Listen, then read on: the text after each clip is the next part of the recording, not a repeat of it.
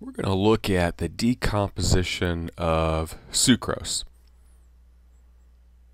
And this can be done a number of ways. One way is to use concentrated sulfuric acid, which I have represented in the reaction by the little H2SO4 that's above the arrow. And it's a fun reaction to do. It's very messy it's not fun to clean up, but it is fun to do, and I'll show you a video of it. I have sucrose, which I've ground up into a powder, and then I've just added concentrated sulfuric acid. And it's starting to turn yellow because it's starting to react, and now I'm mixing it. It's turning into really thick, gooey stuff, but I want to get the sulfuric acid and the sucrose mix together really well so it can react properly. Now this part's been sped way up. You see that black forming? That's the carbon that's forming.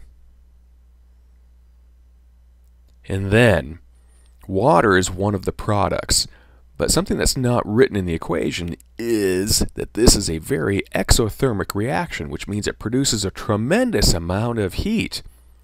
And that heat will vaporize the water that's being produced. And see how it's pooching up there in the center? That steam is pushing the carbon above the surface. Now you can really see the steam and it's causing the carbon to solidify when it goes above the surface. And so it's pushing this big column up and out of the beaker.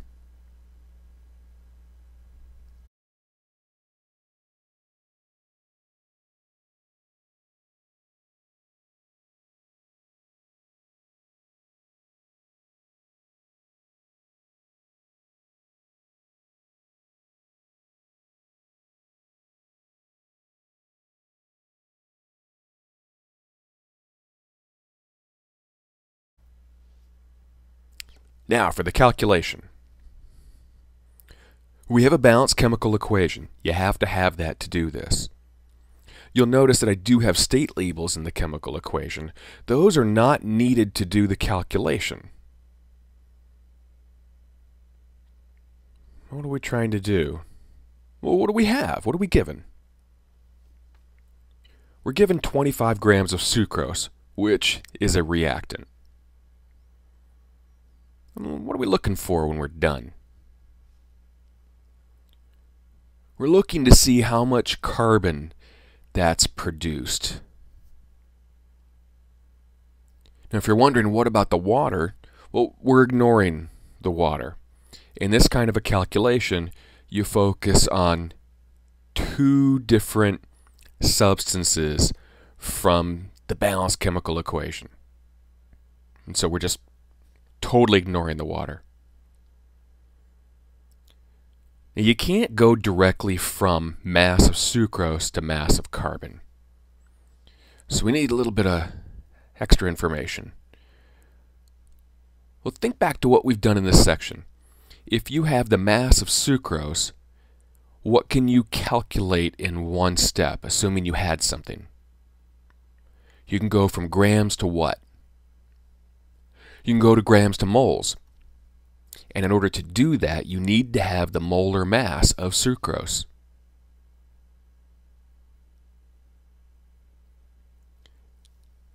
So it stands to reason that we also need the molar mass of the other substance from our equation that we're interested in, which is carbon.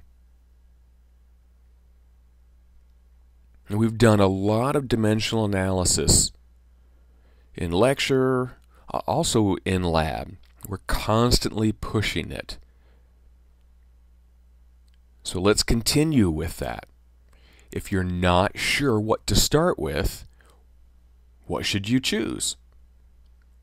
Well, if you're not sure, you can start with 25 grams of sucrose because that's what we're given. And notice how I wrote it. I didn't just write it as 25.00 grams. I wrote it as grams of sucrose. In the stoichiometry calculation, which Again, stoichiometry just means element measure. But in this calculation, the sucrose becomes part of the unit. And that's because we're going from sucrose to carbon.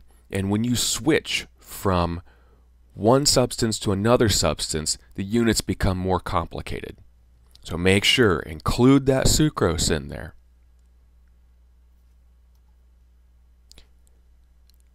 What can you do in one step? Convert to moles using the molar mass. Are we going to do grams over moles or moles over grams? Moles over grams to make our units work. And look how I wrote this out. The grams of sucrose cancel. Now let's not hit the equal sign. Let's keep going. It's a multi-step problem. What units do we have right now? We have moles of sucrose. So if we have moles of sucrose, what can we do in one step? Look at the balanced chemical equation. For every mole of sucrose, how many mole of carbon can be produced? Well, 12, the balanced chemical equation. Just like 11 moles of water can be produced. So our next step is to go from moles of sucrose to moles of carbon. So how do we write that? Watch your dimensional analysis, your unit analysis. We want the moles of sucrose to cancel.